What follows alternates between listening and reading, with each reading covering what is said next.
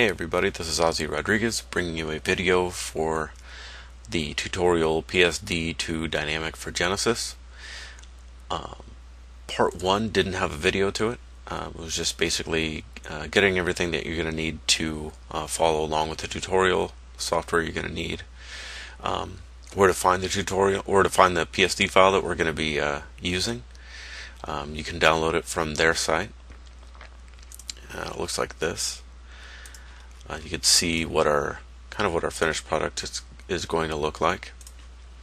And uh, once you download the PSD file, if you don't want to slice it up yourself, uh, you can actually download the slices um, that are going to be used in this tutorial. So let's go ahead and get started. Uh, you're going to want to uh, have WordPress installed, upload your Genesis framework as well as the Dynamik child theme, activating the Dynamik child theme. you're going to want some dummy content, which uh, in the article, um, part two of the uh, of the series, you can actually download the XML content um, that I that I'm have here on the site, um, and then you can import it. Uh, the first thing I like to do is go into Dynamik design and upload all of the images that I'm going to be using. So I've already done that for the sake of time. Then the next step is deciding whether you want to have a responsive uh, design or not a responsive design. Uh, for the tutorial we're going to do a responsive. So we're going to click on that, save changes, and then we're going to get into styling the body. Uh, so we have to pick a font and if we go into the Photoshop uh, to the PSD file we can see that they're using a font called Lobster. Um, that's actually a Google font, and Dynamik comes preloaded with, with some uh, Google fonts. Um, so we'll select that. Uh, we're going to leave the universal font control alone. Uh, the headings, most of them are using uh, a color that we find here. Um, so we're going to end up, we're going to use uh, this color for those. And the body font, um, we're going to use the same color that they use for the font inside of their their widgets there, what will become our widgets. Uh, it's a dark brown font. Um, the link control, we're going to use a red that I found in the PSD file. And we'll leave the link underline hover. Uh, for the body background, uh, we'll use, we're going to zoom in all the way as far as we can and get the very bottom of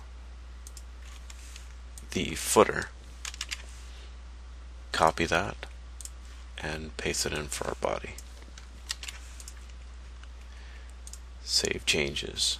And now we're going to get into the wrap. I like to move from uh, left to right and then uh, go down, start over on the next row. Uh, the wrap background, we're going to use one of the slices. Uh, we're going to do a horizontal and vertical repeat. Uh, no color, and it's the header slider BG uh, background. It's a striped. Um, for the inner background, we're going to go transparent. Um, we're not going to use a wrap box uh, shadow. And we're going to go with a fluid design. So once we're all set, we're going to save changes you can refresh the site and see kind of what we're working with right now. So it's starting to take shape. Uh, let's style our uh, header. Um, so the title font, because we uh, added the colors in the universal, um, it's taking that that color, but we're actually not going to use um, regular text. We're going to use our logo.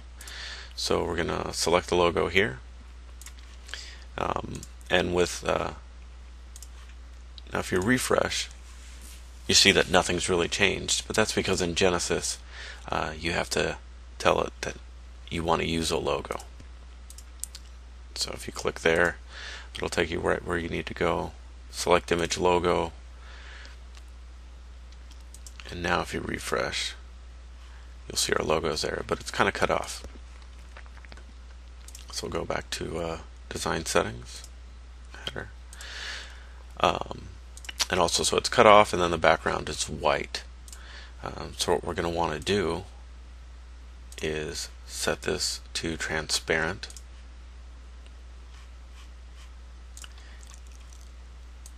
And here's where we're going to undo the clipping of the logo. So our, our logo is 217 pixels. We'll round it up to 220.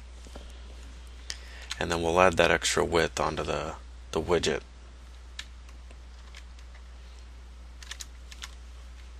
Uh, the header height, we're going to make the same height as the logo, which is 148. Uh, the header widget padding, we're going to be using a navigation menu, and so we're going to need that to be about 40 pixels away from the top. So now if we save changes, do a refresh, wait for my stuff to refresh, we see that our logo is there, uh, the background is good, and everything's starting to take shape. So that'll do it for this uh, video. Uh, in the next video, we'll start uh, styling our navigation. Um, so both the top navigation and the header navigation. see you next time.